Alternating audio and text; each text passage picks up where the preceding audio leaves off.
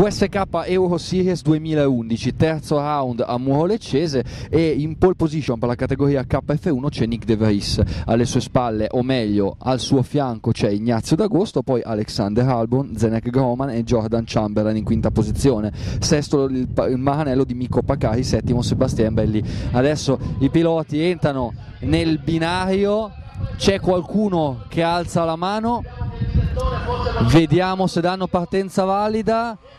Partenza valida, partenza valida. Nick De Vries mantiene la posizione, cosa che ha fatto per tutto il weekend nelle due manche di qualifica. Eh, lui non ha avuto praticamente avversari, solo Ignazio d'Agosto, scusate, al via della seconda mancia è riuscito a condurre la gara per una manciata di giri, ma poi il ritmo di De Vries è stato straordinario. Vedete Alexander Albon che al momento è in seconda posizione, che in una mancia ha fatto secondo, nell'altra ha fatto quarto è stato comunque anche lui molto veloce guardavamo i rilievi cronometrici anche lui insomma eh, ha girato con tempi molto vicini a Nick De Vries e non si sa mai che magari adesso ci prova e sì, e sì Alexander Albon ci prova e si mette dentro anche Ignazio D'Agosto. Toccano Nick De Vries Jordan Chamberlain mi pare abbia toccato Nick De Vries si mette di fianco Jordan Chamberlain dietro c'è anche Flavio Camponeschi passa Jordan Chamberlain. Nick De Vries in quarta posizione porca miseria quinta posizione per perché passa anche Flavio Camponeschi,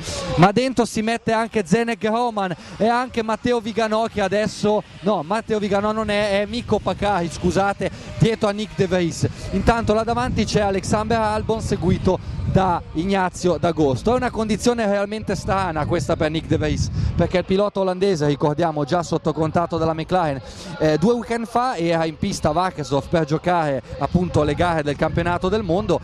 e, e intanto adesso Nick De Vries passa Groman e quindi adesso va a guadagnare la quinta posizione pilota olandese. Dicevamo appunto prima, eh, due settimane fa, De Vries era in Germania a Vacchesov per il campionato del mondo, campionato del mondo che si è corso con una formula nuova, un po', un po contorta forse, comunque quattro finali eh, durante tutto il weekend. E lui ha vinto tutte e quattro le finali quasi giocando con tutti gli altri, stessa cosa che ha fatto anche questa mattina nelle manche, mentre adesso appunto come dicevo prima è una situazione un po' stramba perché per l'olandese per la prima volta c'è qualcuno davanti all'olandese. Alexander Albon che conduce la gara sembra avere un, un ottimo margine rispetto a Ignazio De Gosto. Nick De Vries me lo sono perso ma comunque ha giocato, ha sorpassato Chris eh, Locke, ha sorpassato scusate, Flavio Camponeschi e ora andrà a prendersi la terza posizione eh, che è al momento occupata da Jordan Chamberlain. Al momento non abbiamo i rilievi cronometrici ma sicuramente eh, tolto il, il, diciamo il, il, casino, la confusione del, del, primo giro, sicuramente Nick De Vries adesso può avere tutto il materiale a posto e andare a, a girare con, i, con, il ritmo con cui ha girato nelle, nelle match di oggi anche nelle, nelle, prove di qualifica di ieri, nonostante comunque non abbia guadagnato la prima posizione che è andata a Carol Batz. Le condizioni della pista qui sono, insomma la pista è stata rinnovata, avete visto il servizio che abbiamo pubblicato su ticat.it proprio ieri sera in cui eh, come vedete l'asfalto della pista ha un colore nero molto scuro rispetto al colore tradizionale dell'asfalto perché? Perché è stato ricoperto da una speciale resina che ha il vantaggio di offrire molto grip. Questa è una condizione che è piaciuta ad alcuni piloti perché effettivamente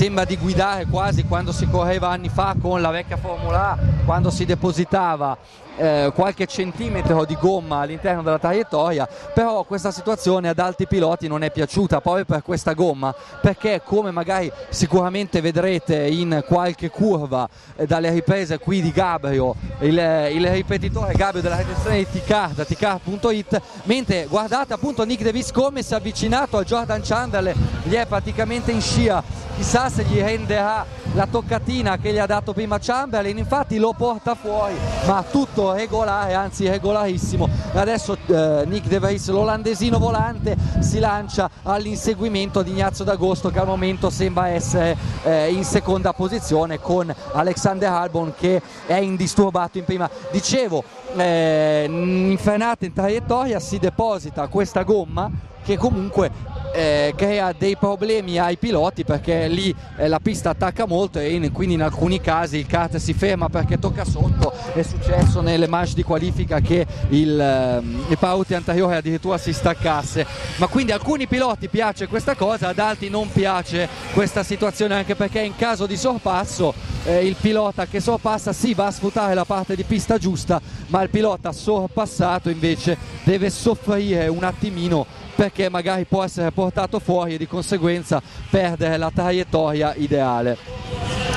VSK Euro Series che qui è alla terza gara, la terza prova, dopo le due prime prove di Sarno e eh, Portimao e chi conduce la classifica è Nick De Vries che conduce con 135 punti. Secondo è il belga della Cosmic Benjamin Bailly con 64 punti, quindi un distacco veramente incredibile di quasi appunto 70 punti, cosa insomma che può quasi chiudere il campionato già qui a, a Murolecese perché qualora la gara di oggi eh, possa ottenere un grandissimo risultato di Nick De così come la gara di domani un brutto risultato di Bailey lui può andare a un risultato superiore agli 85 punti di vantaggio che è il monte punti della gara singola che appunto sarà eh,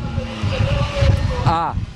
scusate blackout di memoria la, la, prossima Gabriel. Dove sarà la prossima gara della VSK Euro Series? Tu che fai sempre il professorone io che faccio il professorone ti posso dire che la prossima gara sarà a Zuera. Bravissimo, a Zuera il 31 luglio, ma hai, hai, fatto tornare in mente il calendario della VSK Pro Series, appunto che si chiuderà domenica 31 luglio a Zuera. E quindi qui in questa, eh, in questa situazione addirittura Nick De può andare a chiudere il campionato perché il monte punti sono 35, sono 35 punti per la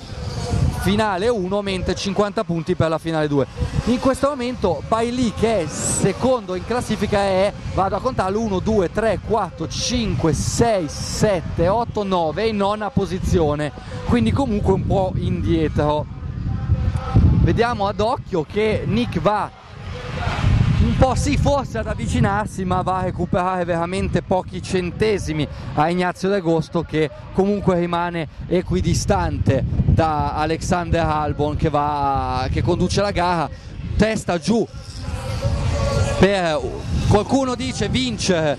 l'aerodinamica ma in realtà qualcuno ha anche fatto degli studi, dei rilevamenti e ha scoperto che abbassandosi sul dritto sì, forse si guadagna mezzo chilometro orario per una fazione di secondo e di conseguenza questa manovra che i piloti fanno sul rettilineo serve per caricarsi, per dire dai sì che ce la faccio adesso a prendere quello lì davanti.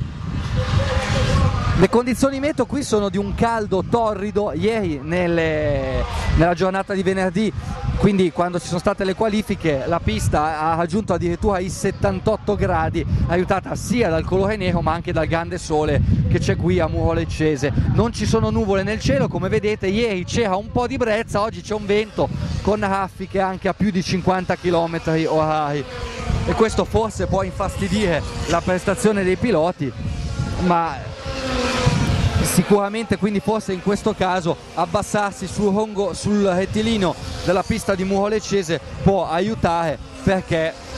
eh, vincere, guadagnare qualche, qualche centesimo con, eh, abbassando la testa può portare qualche metro mentre Gabrio alza la mano. Gabrio cosa vuoi dirmi? No, volevo dire che non so se infastidisce i piloti questa cosa qua ma il vento sicuramente infastidisce le riprese e il commento questo è sicuro ci tenevo a dirlo. Grazie perché noi sì in effetti siamo su una torretta a, bordo pista da cui riusciamo a vedere spero riusciate a vedere tutta quanta la pista ma chiaramente siamo esposti al vento quindi il microfono prende un po' troppa aria. Però adesso come vedete Nick De Vries si è avvicinato a Ignazio D'Agosto e forse veramente può andare a prendere il pilota pugliese che qui Ignazio D'Agosto su questa pista lui ha sempre ottenuto ottimi risultati. Così come anche Nick De Vries che al debutto nelle gare internazionali nel 2008 proprio qui nella VSK Euro Series in KF3 ha, ha corso una splendida gara in cui è andato chiaramente a vincere con un distacco incredibile, proprio questa sembra essere una caratteristica di Nick De Vries che eh, ormai ci ha abituati a, a, gare, a gare con galoppate solitarie, ma adesso si è attivato il monitor dei tempi, vado a vedere che il distacco in questo giro tra Ignazio D'Agosto e Nick De Vries è di 359 millesimi, mentre tra Ignazio D'Agosto e eh, Alexander Albon in prima posizione ci sono 3 secondi e 4 andando a guardare gli intermedi è al momento il, eh, quello che gira più veloce in pista è proprio Alexander Albon e forse Nick De Vries è un po' tappato da Ignazio De Gosto visto che fa circa gli stessi tempi che sono circa comunque di un decimino sopra i tempi di Alexander Albon. Quindi te girano veramente appaiati. Al momento Alexander Albon quindi con le prestazioni, con le prestazioni delle gomme appunto che eh, hanno raggiunto l'optimum quindi con una pressione eh, ottimale è Alexander Albon a far segnare il giro più veloce in questo frangente con 46 secondi e 736 millesimi al tredicesimo di 16 giri. Ignazio D'Agosto ha girato ha girato in 47,089 e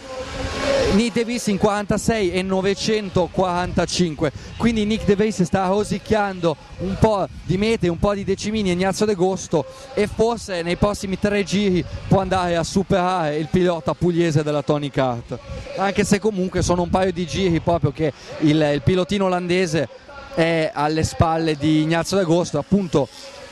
Alexander Albon che ancora fa segnare giro veloce sembra proprio poter godere di questa lotta tra i due anche se lotta vera e propria non c'è perché Nick De Vries è lì sempre a due decimi 88 in questo momento. Nick adesso è proprio veramente vicino è andato un po' largo in questa curva ma guardiamo gli intermedi e sì, adesso in questo frangente il più veloce in pista Nick De Vries, ha girato addirittura qualche millesimo anche più veloce di Alexander Albon. E sembra che proprio in questa curva, quando l'ultima curva dell'ultimo giro perché adesso si entra appunto nell'ultimo giro della finale 1 della VSK Euro Series di Muro Leccese e Ignazio De Gosto e lì abbassato tutto in carena come direbbero i commentatori quelli bravi, quelli delle moto a coprirsi, a, a, dire, a incitarsi, a dire sì dai che ce la faccio, ha iniziato a chiudere forse Ignazio d'Agosto perché Nick De Vries è lì che gira ancora, ancora in questo giro ha girato più veloce ma sembra quasi che non ce ne sia per i due che la situazione al momento a poche curve dalla fine sembra dover rimanere questa. Con Alexander Albon che è velocissimo e proprio va a guadagnarsi una splendida vittoria perché all'ultima curva è il pilota inglese della Intrepid con motore TM già sotto contatto con la Red Bull Racing, quindi quella che porta eh, Sebastian Vettel in Formula 1, ha vinto una splendida gara con Ignazio D'Agosto secondo, Nick De Vries terzo, in terza posizione c'è Chris Locke, poi Jordan Chamberlain e poi Zenek Groman e Mikko Pacari della Maranello, poi Alexa, eh, Carol Batz, Libor Toman, Se, eh, Sebastien Bailly e poi finiamola qui.